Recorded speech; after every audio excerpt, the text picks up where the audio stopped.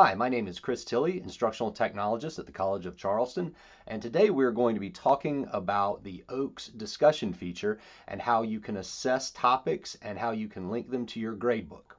So we're going to go to the pull-down menu next to the topic and select Edit Topic. You'll see we have some tabs up here that might look familiar if you've used the assignment Dropbox feature in OAKS.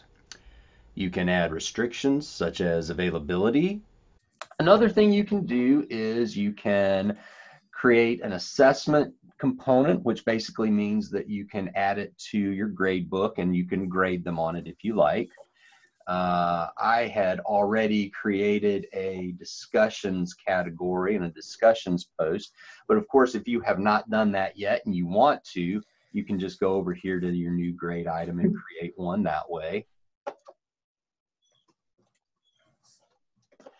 And here, of course, is where you can do your score.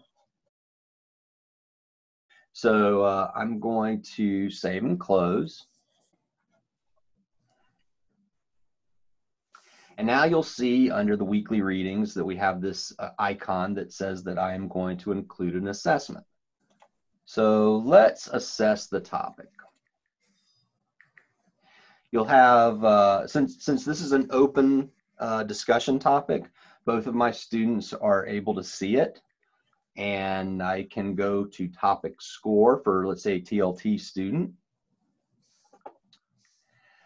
Now I didn't write anything, but uh, this is where it would be if I had and I can come up here to the top right of that new window and I can give them uh, whatever I think their score ought to be and if I want to give them some feedback, I can. And I can publish that right there.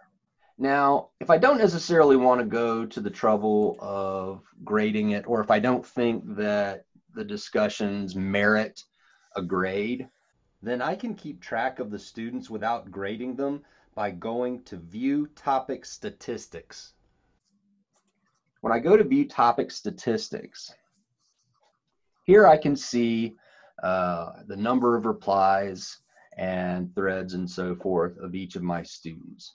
So if I've had, let's say, five topics, uh, or excuse me, five threads, uh, and I expect them to reply once to each one, then I would hope to see four or five in this uh, column here.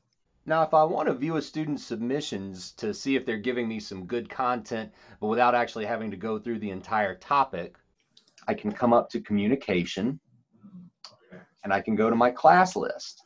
And from here, I can go to this pull down menu next to my student's name and I can view their progress. And you'll see here, uh, there's a, uh, a list here on the left, and discussions is one of the items there. And here I can really look and see what they've done.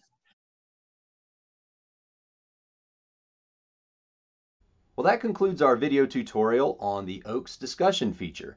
If you have any questions, please feel free to reach out to your instructional technologist or email tlt at cofc.edu.